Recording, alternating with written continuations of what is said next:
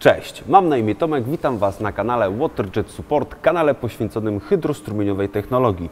W dzisiejszym odcinku razem z kolegą przedstawimy jeden z testów do kalibracji maszyny. Zapraszam. Cześć, mam na imię Kamil. Dzisiaj przeprowadzimy test Bolbar. Jest to narzędzie diagnostyczne, które pozwala na e, szybką kontrolę parametrów pozycjonowania maszyny. Dodatkowo pozwala na e, szybkie i proste zdiagnozowanie parametrów pracy urządzenia, które będą wymagały obsługi technicznej.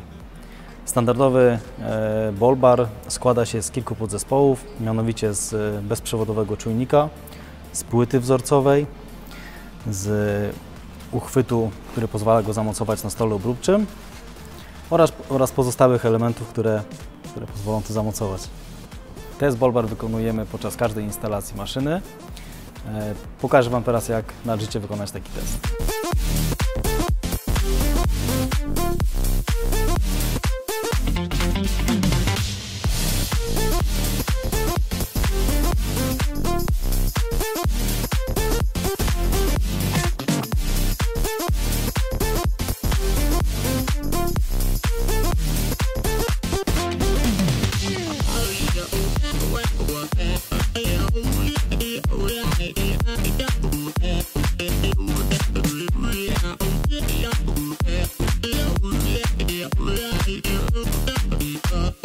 Dzisiejszy pomiar wykonujemy e, przy użyciu przedłużki 150 mm, dlatego w tym celu odjeżdżamy głowicą o 151,5 mm w osi minus x. W tym momencie wykonamy kalibrację czujnika, mocujemy go na płycie wzorcowej i kalibrujemy. I czujnik jest kalibrowany.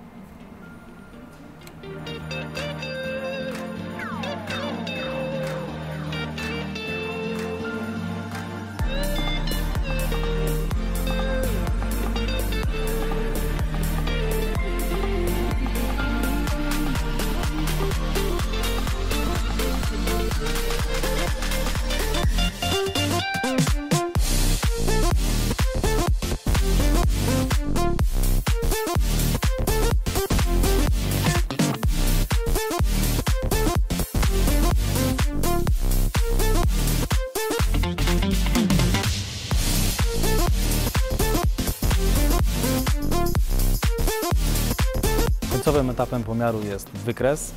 Wynik pomiaru jest tutaj przedstawiony w formie graficznym. Dodatkowo jest dostępna tabela ze zbiorem wszystkich odczytów, które pomagają w diagnostyce. W przypadku, gdy poszczególne odczyty nie mieszczą się w tolerancji, dokonujemy korekty mechanicznej lub programowej. To byłoby na tyle. Dziękuję za uwagę. Do zobaczenia kolejnym razem. Cześć!